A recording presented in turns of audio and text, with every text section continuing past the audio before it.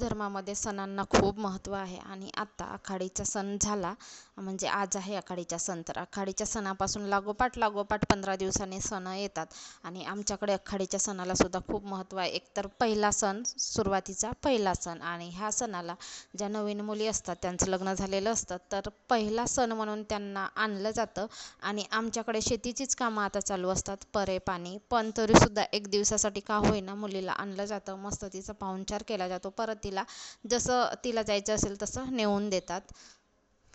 आखाडीच्या सणाला पाटीपूजन केलं जातं. तर माझं इथे पाटीपूजन केलेलं आहे. तर पाटीवरती वहीवरती ओम लिहून जात होतो आम्ही लहानपणी अगरबत्ती फुलं. हे सुद्धा घेऊन जात होतो शाळेमध्ये प्रसाद नारळ खायचा आणि नंतर घरी यायचं. पण आता तसं करतात की नाही माहीत नाही. आणि आज रविवारच आहे. तर त्याच्यामुळे तर शाळेला सुट्टी आहे. तर मी स्वयंपाक पण करते आणि इकडे देवाची पूजा झाली. नैवेद्य वगैरे दाखवून झालं आणि राहिलं साहिलं ते मी आता स्वयंपाक करते. आखाडीच्या सणापासून लागोपाठ सण लागतात आणि प्रत्येक सणाला काही ना काहीतरी बनवला जातो आमच्याकडे. तर मी आज बनवणार आहे चण्याच्या डाळीचे वडे. तर चण्याची डाळ उडदाची डाळ मुगाची डाळ हे सगळ्या डाळीचे आमच्याकडे वेगवेगळ्या डाळीचे वेगवेगळे असे वडे बनवले जातात. तर मी आज चण्याच्या डाळीचे वडे बनवते. तर चण्याची डाळ इथे भिजवून ठेवलं. आता जवळपास तीन साडेतीन झाले. म्हणजे संध्याकाळपर्यंत छान अशी आपली चण्याची डाळ भिजली जाईल. म्हणजे भिजली जाईल. चण्याची डाळ ज्यावेळी मी भिजवली होती त्यावेळेस धुतली नव्हती. तर दोन तीन पाण्याने चण्याची डाळ धुवून घेतलं आणि पूर्ण पाणी त्याचं गळू द्यायचं. म्हणजे निथळू द्यायचं. पाणी गळल्यानंतरच जे काही प्रोसिजर असेल समोरची ती करायची. तर इथे चार पाच मी कांदे चिरलेले आहेत. मस्त असा कोळ कढीपत्ता आहे. चवीपुरते हिरवे मिरच्या आहेत.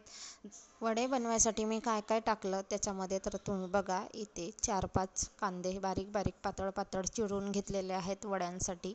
हिरवे मिरच्या सात आठ हिरवे मिरच्या जर तिखट असतील तर त्या मानानुसार मग आपण लाल पावडर लाल मिरची पावडर टाकू शकतो. तर कढीपत्ता आहे कोथिंबीर आहे. कोथिंबीर जास्त वाजतं कढीपत्ता पण जास्त टाकला म्हणजे छान चव येते आणि वासही खूप छान येतो. आणि मसाले म्हटलं तर तिखट थोडंसं तिखट टाकला म्हणजे जेणेकरून कलर यावं. हळद धने पावडर जिरे पावडर जिरे पावडर नसेल तर आपण अख्खं जिरं टाकलं तरी चालते. मीठ चवीपुरता गरम मसाला थोडासा. आणि धने असतील आपल्याकडे अख्खे धने तर त्याच्याने सुद्धा वड्यांची टेस्ट खूप छान येते. आणि ओवा थोडंसं हातावरशी घासून टाकला आणि सोप टाकायची. तर माझ्याकडे सोप नव्हता तर नाही टाकला. आणि सोप टाकलं ना तर वडे कुठल्याच डाळीचे वडे असोत सोप टाकलं तर टेस्ट भारी येते.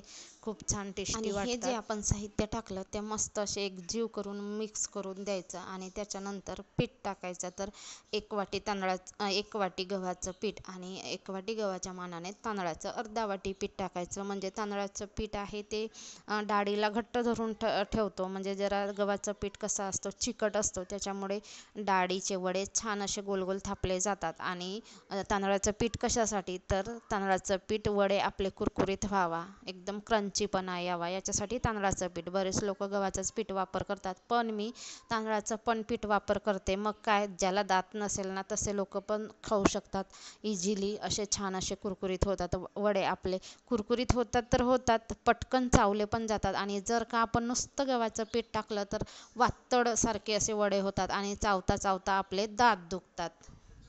आणि नंतर हे साहित्य. छान असं मिक्स करून घ्यायचं जेणेकरून सगळीकडे मिक्स होणार आणि डाळी आपल्या वेगवेगळ्या जाणार नाही अशा पद्धतीने. मिक्स करून थोडा वेळ असं दाबून ठेवायचं आणि इथे तेल पण तापत ठेवलेलं आहे. तेल पण गरम झालं आता आपण वडे टाकूया. तर वडे टाकायच्या आधी थोडंसं असं नगभर मी पीठ टाकून बघते.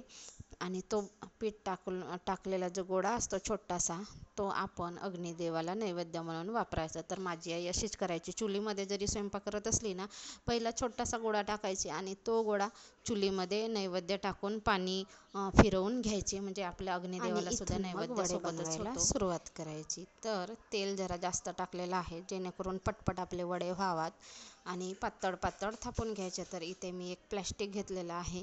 आमची याकडे ना आई माझी आम्ही पळसाचे पानं घेत होतो. गावी होतो ना तर पळसाचे पानावरच थापायचो. पण आजही गावाखेड्यामध्ये नाही का हातावर कमी थापतात पण असं पान वगैरे असेल तर एकासोबत लगेच लगेच थापून ठेवतात आणि मग लगेच जे शिजत आहेत ते काढलं की पटकन टाकायला लवकर चांगलं होते. तर आम्ही गावाला पडसाच्या पानावर थापत होतो पण इथे मी एक कडक असा प्लॅस्टिक घेतलेला आहे आणि त्याच्यावरती आपल्याला पाहिजे त्या आकारामध्ये पातळ पातळ वडे थापून घ्यायचे आणि तेलामध्ये मस्त असे लालसर कुरकुरीत क्रंची होईपर्यंत मस्त तळून घ्यायचे.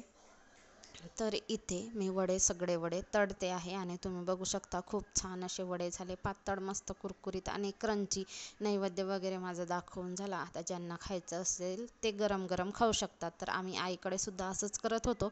देवाला नैवेद्य दाखवून द्यायचं. मग कसे मुलं वगैरे असतात छोटी मुलं ते खायला होतात. म्हणजे ने देवाला देवाला नैवेद्य दाखवल्यावर लहान मुलं किंवा मोठी माणसं सगळ्यांना खाता येतो. आणि वडे अशी गोष्ट आहे की जी गरम गरम खाल्ली तर त्याची चव दुप्पट होते आणि थंड खा खा तुम्हाला ते टेस्ट तर अशा पद्धतीने. आमच्याकडे मस्त असे चण्याच्या डाळीचे वडे बनवतात. कोणी कोणी टमाटर पण टाकतात. आमच्याकडे तर नाही टाकत टमाटर पण आम्ही ह्या जिल्ह्यामध्ये राहतो इथे टमाटर टाकतात. आणि ते मला आवडत नाही आणि आम्हाला पण आवडत नाही. आम्ही जसे बनवतो तसेच बनवतो आणि अशाच पद्धतीने आमच्या गोंदिया जिल्ह्यामध्ये वडे बनवले जाते. तर अशा पद्धतीने आम्ही वडे बनवतो. आखाडीच्या सणाची पूजा असते.